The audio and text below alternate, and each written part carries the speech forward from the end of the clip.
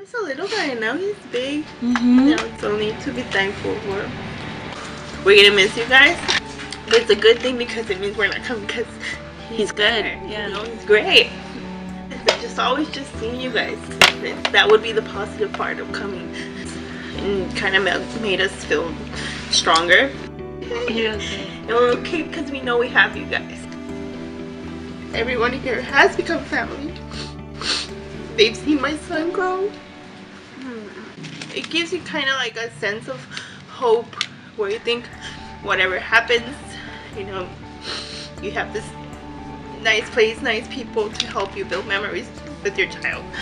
Whether he knows always going to the doctor was the hardest part, you know. You could only go through it knowing that he would always have something coming out that came through family house. I remember him like just coming back from the surgery where he had the big old patch and all the cottons. What was it, Easter? We had Easter, the Easter bunny, mm-hmm. the fire truck, the horse. Like, he was the happiest kid. and to me, I was like, oh my gosh. Like, and I was like, why am I sad? He's not sad, you know?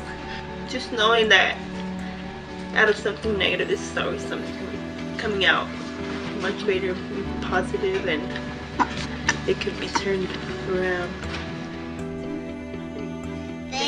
Family House. We love you. you. Bye bye.